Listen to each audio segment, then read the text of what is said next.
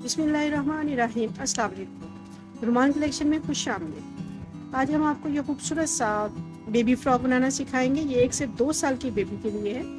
ये हमारे पास लॉन का कपड़ा है प्रिंटेड और उसके साथ हमने नेट यूज़ की है। ये तकरीबन एक मीटर हमारे पास प्रिंटेड कपड़ा है और इसमें एक मीटर नहीं लगेगा, लेकिन इसमें हम पेंटी के साथ इसको एक मीटर हमारा यूज़ हो जाएगा।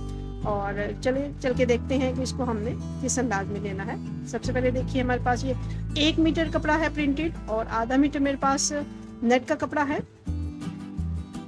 इसको हम सबसे पहले फैला लेंगे। हमने, सबसे पहले हमने इसमें घेर लेना है फ्रॉक में। हमारी टोटल लंबाई है 18 इंच। देखिए, इसकी चौड़ाई मेरे पास 20 इंच आ रही है डबल में और इसकी लेंथ में 9 इंच लूँगी यहाँ से। यहाँ से नौ इंच पे हम निशान लगा लेंगे सारे और इसको हम कट करके अलग कर लेंगे यहाँ से हम सारे निशान लगा लेंगे और हमारा ये कट हो जाएगा। इस अंदाज में हमारा 20 इंच चौड़ाई में और 9 इंच लंबाई में घेर कटिंग होगा। नेट भी हम इसी अंदाज में दो इंच हम लेंथ में बढ़ाएँगे और 30 इंच चौड़ाई डबल में आ जाएगी। हम इसको भी कटिंग कर लेंगे। इसके नीचे वाले प्रिंटेड कपड़े से जो नेट लेंगे, चौड़ाई में दस इंच ज़्यादा और लंबाई में दो इंच ज़्यादा। बॉडी हम लेंथ नौ इंच ले लेंगे इसमें भी और इसको हम अलग कर देंगे यहाँ से निशान लगा के। यहाँ बॉडी की लंबाई हम अलग कर लेंगे। अब इसको हम चौड़ाई में देखेंगे, हमने कितना लेना है। अब उसके मुताबिक आप ये बीस इंच चौड़ा है तो हम इसको कम कर लेंगे अपने हिसाब से। मेरे पास बॉडी सात इंच का आएगी और डेढ़ इंच की पट्टी आएगी। यानी चौदह इंच और डेढ़ इंच, साढ़े पंद्रह इंच पे मैं टोटल इसको फोल्ड करूँगी। यहाँ से इसको फोल्ड करेंगे चार में तो ये सात इंच चौड़ी बॉडी की चौड़ाई आ जाएगी और इसमें जो डेढ़ इंच इजाफी है वो हमारी बटन पट्टी हो जाएगी। यहाँ से ये सात इंच आ गई, इसको हम अलग कर लेंगे। ये डेढ़ इंच की पट्टी इसमें आ जाएगी। ये बैक में हम रखेंगे फ्रंट में रखना चाहें तो हम इसको रख सकते हैं। यहाँ से बटन पट्टी छोड़ के हम इसको यहाँ से डेढ़ इंच की और शोल्डर इसको देखेंगे। पाँच इंच हम शोल्डर लेंगे इसमें। पाँच इंच पे हम निशान लगा लेंगे थोड़ा नीचे। और इसकी आर्म होल की जो लंबाई है, इसको भी हम पाँच इंच देंगे। इसको आपस में मिला के हम गुलाई कर लेंगे। यहाँ से इसको मिला लिया हमने। गिरबान की चौड़ाई दो इंच लेंगे और गिरबान की गहराई हम ढाई इंच ले लेंगे इसको। यहाँ से मिला के इसको हम गुलाई के साथ। गोलाई ले लेंगे इसकी। यहाँ से शेप ले लेंगे इसकी। दो इंच चौड़ा और ढाई इंच गहरा। और आधे इंच की शेप हम शोल्डर की ले लेंगे यहाँ से। उसको गिरेबान तक हम मिला लेंगे।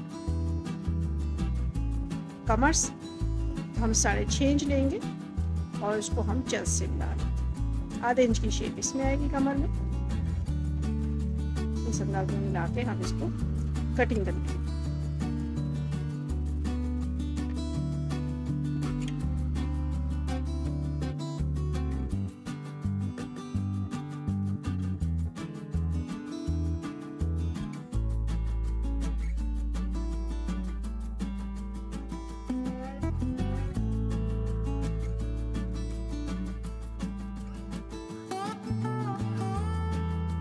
ये बाद में हम कटिंग कर लेंगे, लेकिन इसमें हम बैक हिस्सा हटा के फ्रंट हिस्से की फ्रंट गिरेबान की हम कटिंग कर लेंगे गहराई में।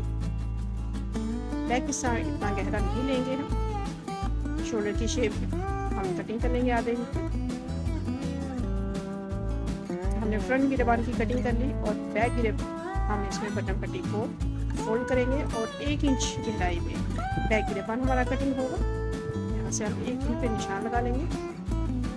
और चौड़ाई हमारी दो इंच ही आएगी। यहाँ से इसको हम बैग रेबान की कटिंग। करेंगे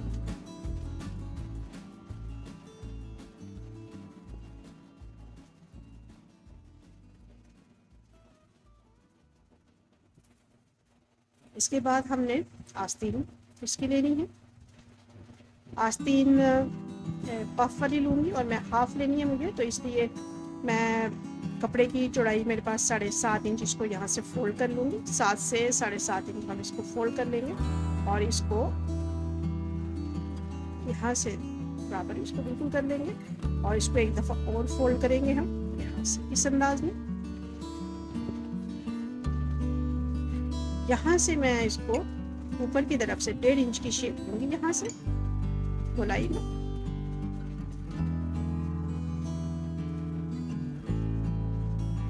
इसको हम कटिंग कर लेंगे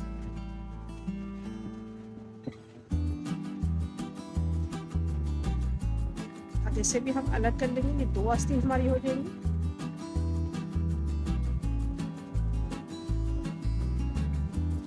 सबसे पहले हमने बटन पट्टी डेढ़ इंच ली थी, उसमें से हम एक इंच बटन पट्टी को फोल्ड करेंगे और सिलाई कर लेंगे। एक एक इंच हम फोल्ड करेंगे, आधा इंच हम मार्जिन जो छोड़े हैं बटन पट्टी को एक दूसरे के ऊपर रख के हमने सिलाई करना है।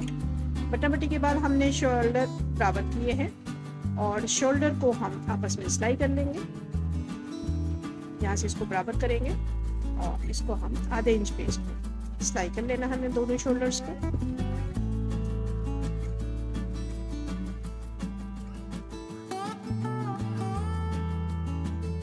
दूसरे शोल्डर को भी हम बराबर करेंगे। और उसको भी हम सिलाई इसमें लगा लेंगे इसके बाद हमने कमर को बराबर करना है और कमर में भी हम सिलाई कर लेंगे। ये फालतू कपड़ा हम हटा देते हैं इसमें से। शोल्डर साइड की सिलाई दोनों तरफ़ की साइड की सिलाई हम आधे आधे इंच पे हम इसको सिलाई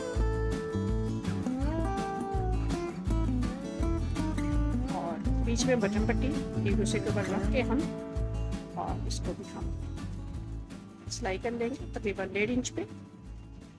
डेढ़ इंच ऊंचाई की तरफ़ हम लेके और बटन पट्टी को बिल्कुल उसके मुताबिक हम सिलाई कर लेंगे, एक इंच चौड़ाई में।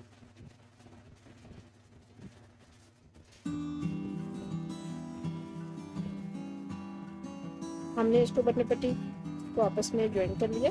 अब उसके बाद हमने इसमें गिरबान में उड़े पट्टी लगानी है।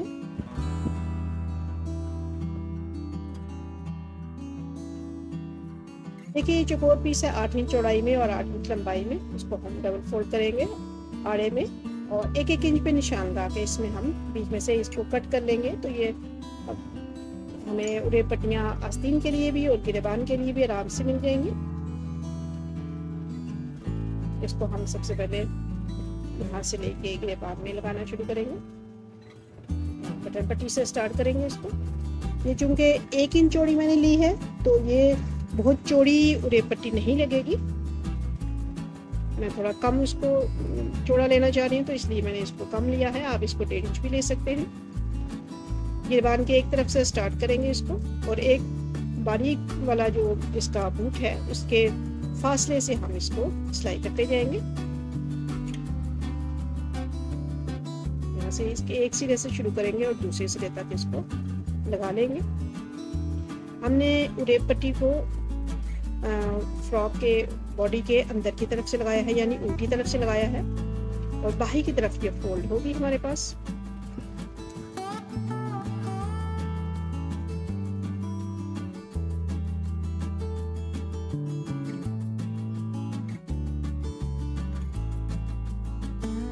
यहाँ से थोड़ा छोड़ के हम पूरे पट्टी को कर लेंगे दोनों तरफ़ से हम थोड़ा थोड़ा छोड़ के इधर से भी।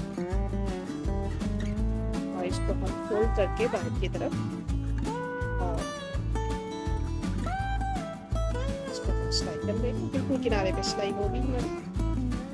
तो पाव इंच चौड़ी हमारी बटन पट्टी रेडी होगी। इस तरीके से इसके पूरे राउंड में इसकी सिलाई इसको फोल्ड करते जाएँगे अंदर की तरफ़ और इसकी सिलाई करते जाएँगे।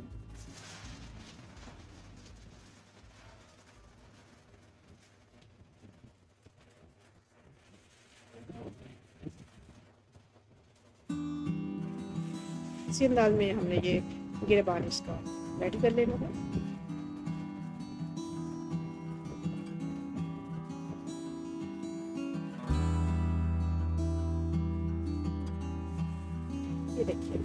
ये गिरबान रेडी है।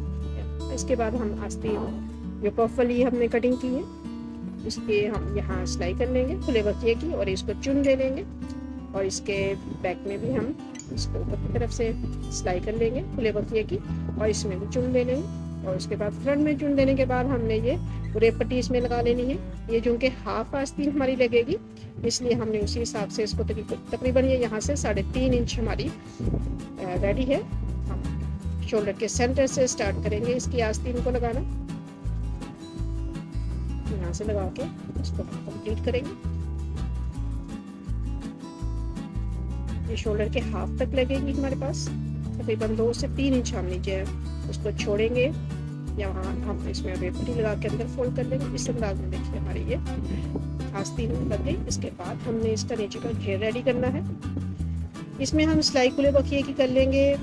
नेट में भी और नीचे हमने दो इंच चौड़ी पट्टी कटिंग की है। इसके दोनों तरफ़ से सिलाई करके इसमें आधे इंच पे एक खुले बखिए की सिलाई कर लेंगे और इसकी खींच के ये धागा, इसको चुन डाल लेंगे इसमें। और इसी अंदाज में हम ये नेट को भी जो सिलाई इसमें हमने की है खुले बखिए की, इसको खींचेंगे और इसको हम इस अंदाज में अपने बॉडी के कमर के मुताबिक इसको दोनों इसके हिस्से जो हैं प्रिंटेड और नेट का इसको हम रेडी कर लेंगे, बराबर करके इसको हम यहाँ से सिलाई कर लेंगे आपस में। और उसके बाद हमने ये फ्रिल का जो दो इंच का कपड़ा हमने कटिंग किया था, ये तकरीबन डेढ़ इंच हमारे पास रेडी होगा। तो इसको हम नेट के नीचे की हिस्से की तरफ़ हम इसको लगाएँगे पूरे राउंड में। और लगाने के बाद साइड की सिलाई करेंगे और देखिए हमारी कमर के मुताबिक ये बिल्कुल रेडी है। इसको हम एक तरफ़ से स्टार्ट करेंगे और इसको दूसरी तरफ़ हम इसको सिलाई कर लेंगे। इस अंदाज में हमारी ये खूबसूरत सी फ्रॉक रेडी हो जाएगी। ये तकरीबन एक से दो साल की बेबी के लिए है। आपको हमारी अगर वीडियो पसंद आई हो तो लाइक और शेयर ज़रूर कीजिएगा और हमारे चैनल को सब्सक्राइब ज़रूर कीजिएगा। वीडियो देखने का बहुत शुक्रिया।